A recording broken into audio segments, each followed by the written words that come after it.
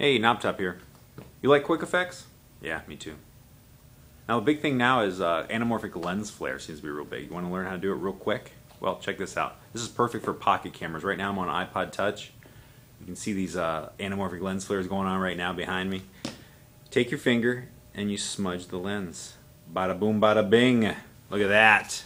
Anamorphic lens flare. Now you can go out and shoot your Transformers sequel. Alright, there you go. There's more where that came from on the Knoptop YouTube channel.